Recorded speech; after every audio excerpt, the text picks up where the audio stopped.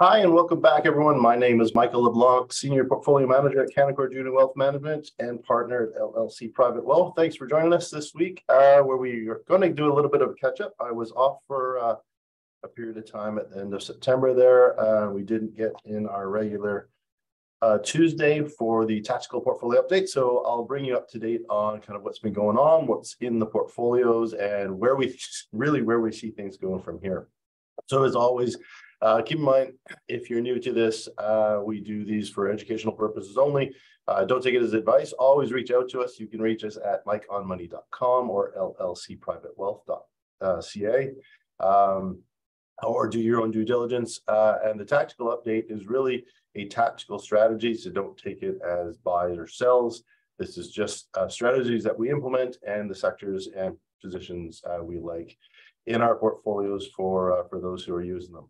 If you want more information on our portfolios or how you can take advantage of what we're doing, uh, again, just reach out to us, uh, either phone, email, or go to the web. You can even book an appointment directly through there. So with that, let's dive into things and what we see going on right now. Uh, the market's continuing on kind of their negative trends. Uh, the risk appetite out there is continuing to be crushed by the, uh, the Federal Reserves and central banks of the world uh, basically continuing on their rate hike to uh, rate hikes uh, to continue to offset the inflation that we're seeing out there. Obviously, the inflation impact uh, has continued to grow this year, uh, following the the pandemic. Uh, but also the Ukraine-Russian war continuing to put pressure on supply chains, especially around food. I think that's where most people have seen it. Obviously, we've seen it with fuel costs, uh, but um, a lot of people being impacted by the, the rise in food costs. Uh, that really, really haven't started to stem a bit. Most other supply chain issues, we have seen things leveling off at least. Uh, and in some cases, the uh, the pressure of overstocking has started to drive the drive the prices down. Uh, we've seen large retailers like Walmart and others actually start to slash slash some prices. Um, but still shoppers are moving uh, moving away from the uh, the big expensive brands, which is if you look in the portfolios, we have Dollarama in there as kind of a, a, a, uh, position to take advantage of people being a bit more frugal with their spending and, and looking for bargains out there. so with that, we're also seeing a continued pressure on the bond markets. Bond markets off about 10% year to date. Uh, so that continues uh, as interest rates uh, we'll, we'll continue to see a couple more interest rate hikes likely. The hope here, though, is they're going to start to ease a little bit on uh, how aggressive they are with those rates. And the outlook is still hoping for into 2023. Originally, we were hoping we were going to get there before the end of 2022. As I mentioned, the war kind of uh, pushing that out, but uh, maybe even some rate cuts in 2023 as we actually get inflation under control and see that recession, right? We've been talking about the recession since early this year. Now, you're probably seeing in a lot more places kind of the uh, the overall theme that uh, that we are going to hit the uh, recessionary phase uh, is pretty much accepted across the board. Um, you know, now the big debate is going to be a deep recession or a light recession. Uh, still yet to be seen, but I but I think some rate cuts can actually still keep it that lighter recession that we were hoping for uh, for the economy, and, and the markets uh, will be able to kind of bounce back a little bit. We saw some troubles over in the UK. Obviously, they had a new prime minister uh, come into play. Uh, Truss uh, came right out of the gates with some tax cuts or proposed tax cuts to to the to the companies and to try to stimulate some of the the economy, but that actually tanked the, the, the, pound sterling and caused the problem in their bond market. So they, she backpedaled on that. Not a great start for her. Uh, we'll see how long she lasts in the, in the post as they've been through several prime ministers in the uh, past uh, few years. Uh, none of them kind of leaving on great terms. And, uh, and is just another bad start when we look at, uh, at the UK politics. So the pound sterling down a bit, uh, and their bond market uh, having to do a little bit of uh, repair uh, their central bank to get that back under control again. Uh, as I mentioned, we're seeing more pressure in the markets. Uh, we're seeing the car manufacturers, everything from Tesla to Ford, under pressure as they suffer some losses after even more than the broad markets have, have pulled back after some disappointed numbers on their total deliveries. As I mentioned on the foreign exchange front, uh, the pound down, euro down, uh, pretty much the flight to safety story that we've been talking about for over a year and a half. Uh, you know, when people are negative in the markets, the flight to safety is the US dollar. So we've seen a lot of strength in the US dollar. That is continuing. The um, the Canadian dollar falling a bit, but mostly um, mostly on the weakness in oil prices. So we saw oil, uh, as we've been talking for uh, last almost year and a half, two years, energy prices have been doing very well. Actually, it's one of the kind of the bright spots if you look at the markets where energy is held in very well, and a lot of cases have has had pretty good performance. Um, but uh, we saw oil drop below $80 temporarily. Uh, it did go back above 90, but it's now again back below 80. And what we, or sorry, below 90. Uh, and what we're seeing there is just supplies caught up with demand on that front. OPEC is, has cut uh, a bit uh, of production to try to uh, boost, boost the price back up again. But you're seeing governments, especially in the United States, going into their midterm elections, really pushing to keep the oil price down. Uh, so that people aren't seeing it at the pumps and, and, and you know even here in Canada uh, out in BC we got into the 240 range uh, for for pricing we've come off that high but still in a solid 230 plus range and back east in Canada Toronto and in the east uh, they're starting to see some bigger, uh, bigger, uh, bigger lifts there. Even though they were holding in pretty good, they're below 140 a liter. Uh, they're starting to, to uh, gain some momentum on that front. So the Canadian dollar has been fluctuating with oil, but it has pulled back on that strength of U.S. dollar. Uh, if you're doing any traveling, it's going to cost a little bit more for for your exchange rates. To mention on the energy front, uh, OPEC did cut uh, 2 million barrels a day to try to uh, bring the price back up. And it did pop above 90, $90 a barrel temporarily, but uh, it has weakened off from that front. And I think you're going to continue to see that, that push. I'm still, you know, my, my oil price outlook, I'd still be very, very worried about the Russia situation. I know there's a, a, a lot of sanctions on Russia, which is kind of, you know, people not buying it as much. Uh, but Russia still has backdoor channels uh, where they can push it through uh, to different countries that are willing to take it and willing to uh, even uh, blow it out through a black market pricing, uh, which will put more pressure on the uh, on the supply side, driving the price even even further. So it'd be a little little leery. Uh, I mentioned before uh, my break uh, on the oil front, uh, take profits where you can. You know, doesn't mean get out of your positions, but definitely uh, worthwhile taking some profits, lighten it back a little bit. If you see some weakness, maybe you want to uh, buy back in a little bit, and and you know again sell out on strength when you talk about your oil names. Uh, not that I'm saying market time, but we are going to be in this volatile period for the rest of this year, likely. So you're going to see in the portfolios actually more activity as we take advantage of the, the pullbacks and, and, and the rallies. Uh, and right now, you know, definitely uh, we've retested the lows of June in, uh, in the markets. Um, and we've actually dipped through them a little bit. I would, I wouldn't actually say that we've set new bottoms, even though we have. Um, and you know, and how low can things go? Because um, we've kind of held pretty close to the June lows, uh, and we might be forming a bottom here. We we we, we touched on it. well, we hit it in June. We went through it a little bit in uh, in uh, late September, rallied up a little bit for a couple days, and then pulled back again uh, to those numbers again in October. So we're still watching that closely, but that's pretty much what we're seeing as the, on the broad market front. Uh, you know, in bigger news out there, excuse me, in bigger news out there, uh, you've been following this Twitter uh, uh, saga. I'll give you an update. We did talk about it earlier this year. Of course, Twitter and Elon Musk. Elon Musk went out and said he was going to buy Twitter, uh, or he actually, sorry, he did a big investment in Twitter. Uh, and he wanted a seat on the board. So they said, You can have a seat on the board. And he said, No, I don't want that. I'm just going to buy it. And then he, said, Okay, buy it. And he put in a bid at about $54 uh, US uh, per share, uh, which they accepted gladly. It was a great premium to the market price. Uh, obviously, that started to tank, uh, or the market started to tank a bit, and Elon wanted out of the deal. So he tried to come up with all kinds of reasons as to why he should get out of the deal. it went to court. some fighting started going back and forth in court. Uh, and Elon's now decided he does want to buy at the original $54 a share a lot of speculation as to why he flip flopped to say he wants to buy it again.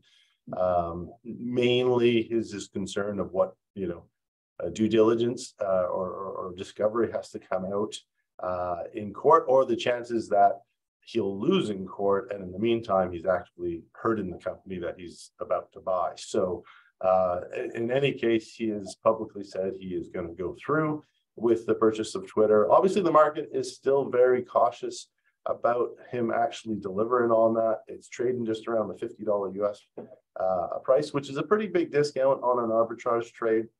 Um, usually you might see two or 3% discount to an arbitrage price, uh, but this is a pretty big one, almost 10% or just shy of 10% uh, on the arbitrage price.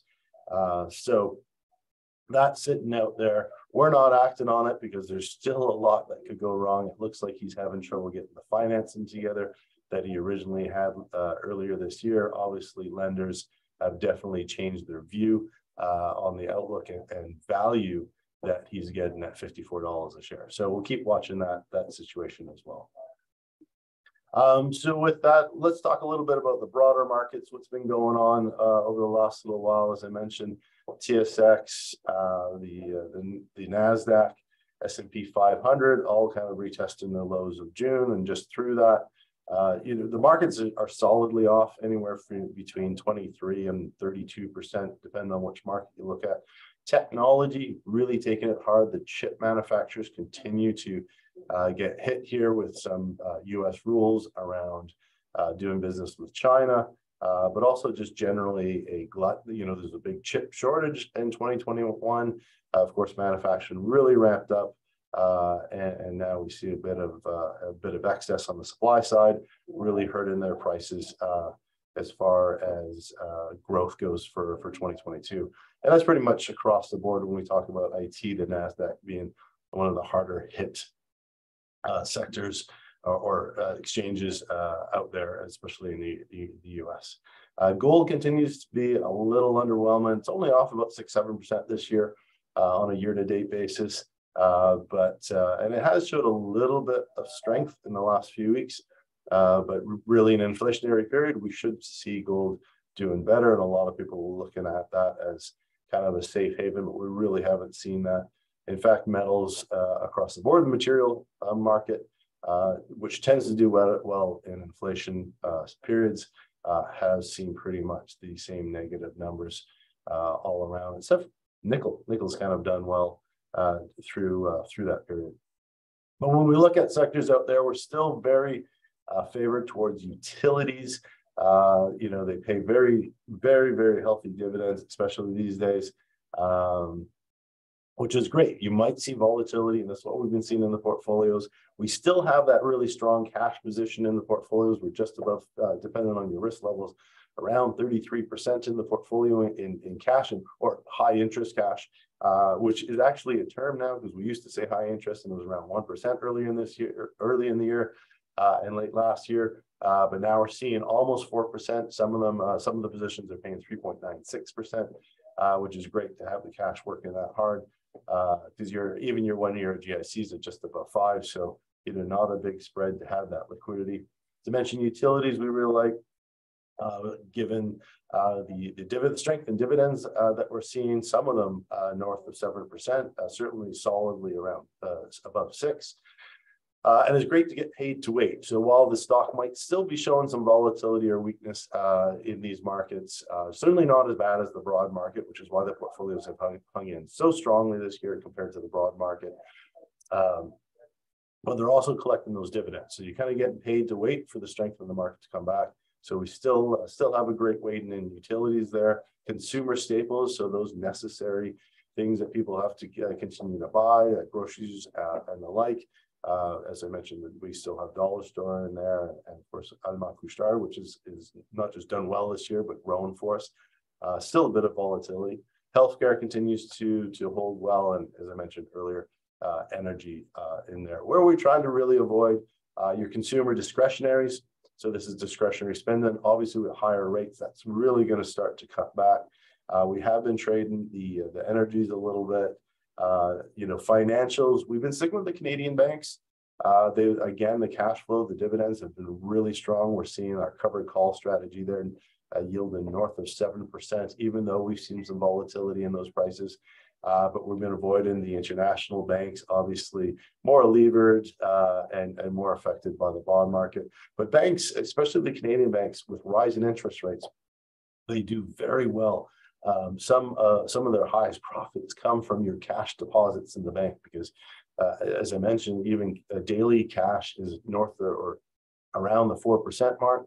Uh, but they're not giving you that on your on your checking accounts and savings account. And you you think about uh, all their deposits uh, across the country, they're making pretty good return on uh, on those deposits, uh, and it can be a very healthy um, uh, cash flows for for for the financials. So still liking them.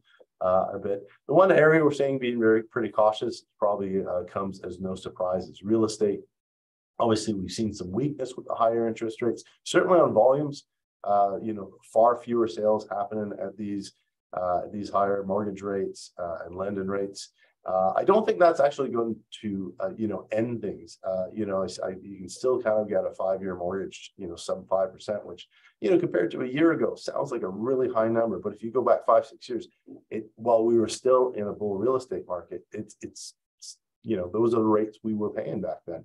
Um, so, you know, really, uh, I don't think that's going to be the, the, the, real determiner. Obviously, it is going to hamper people's uh, uh, amount that their ability, uh, that they, their ability for them to borrow those higher amounts, those will be reduced. But at the same time, you know, I don't think it's going to crush the market. We should, we have already seen some price corrections.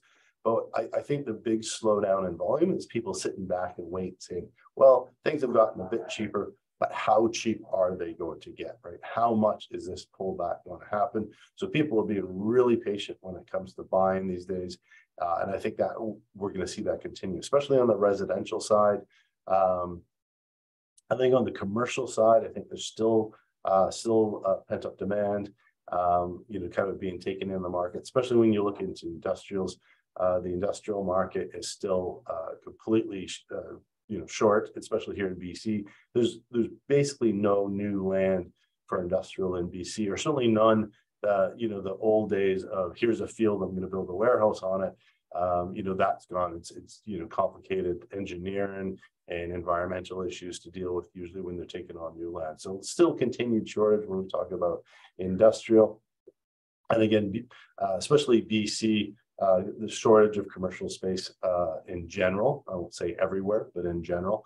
Uh, and even on the residential side, that's why I'm not really concerned about the, the real estate. I would actually expect when we do flatten out a little bit with interest rates and everyone's like, okay, this is where we're leveling off.